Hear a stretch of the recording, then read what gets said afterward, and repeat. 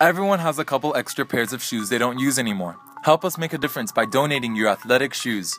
Running with Sole is an organization that provides recycled running shoes from soul minded individuals to the less fortunate in the local community. This summer, Running with Sole is teaming up with Belen Jesuit and the Belen Youth Missions to provide 100 pair of new shoes to Hoyo de Perez in Altamira, Dominican Republic. Please help us help the children.